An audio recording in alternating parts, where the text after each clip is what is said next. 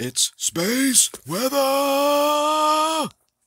Looking at the GOES 14 X ray image.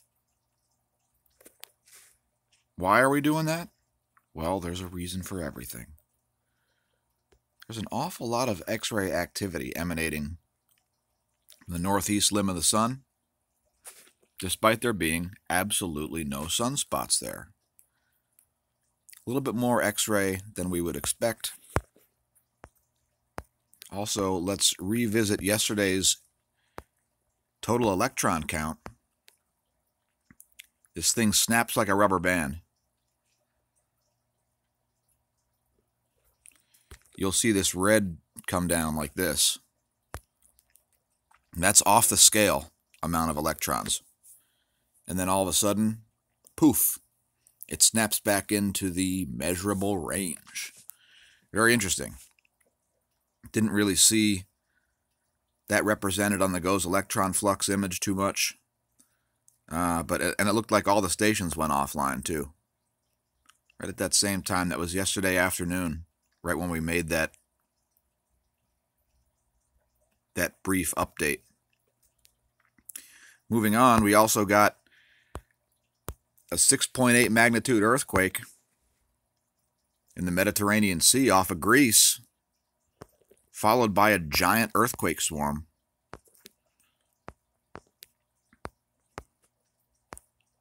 Pretty uncommon. This happens to be the antipode of Fiji, by the way. So, when you have a 600 kilometer deep series of earthquakes going on, you can get earthquakes on the other side of the planet. Perhaps that's what we saw here.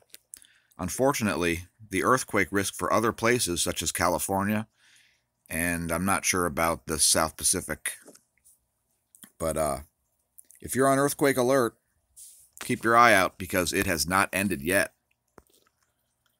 Taking a look at the sun in 304 angstroms. And see this gigantic filament that went flying off yesterday. On the southeastern limb. And there it goes. Some of it ended up back in the sun, some of it ended up out in space, headed to the southeast of the of the earth, not at the earth.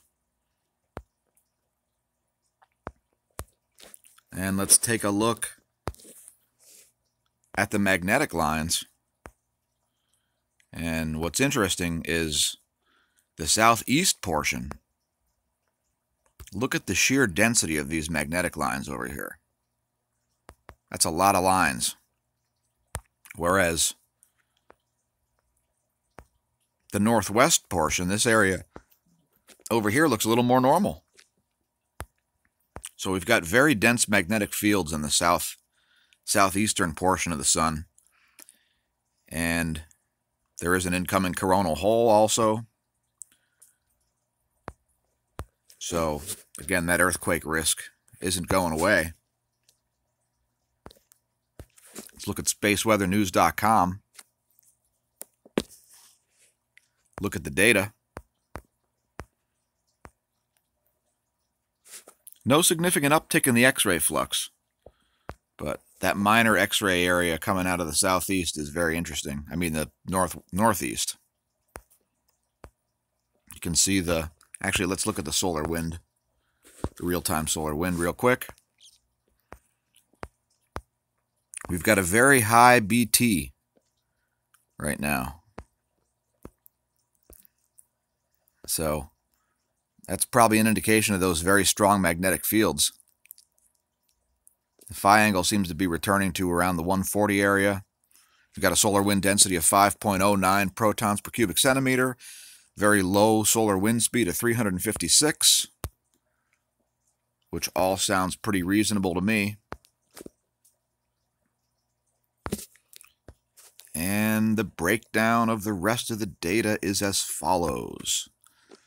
Kind of an odd spike in the magnetometer there. Probably an indication of those strong magnetic fields on the southeast limb. Now keep an eye on that, though. That Not sure what that's going to do, although I'm expecting that to go up. I'm expecting the, the next peak to be more around 150 nanotesla as opposed to 120 nanotesla where it's been going.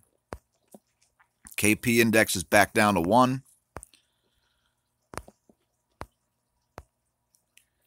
Now, that very high electron count that we saw yesterday on the Space Enthusiast dashboard, the US map, probably that right there. What's interesting about that is that those aren't that high of a level.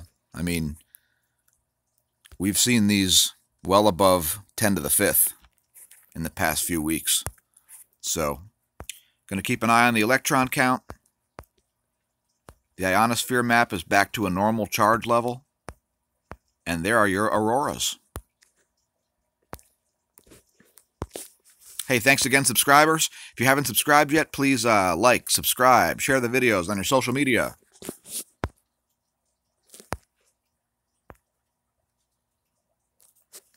Daily updates.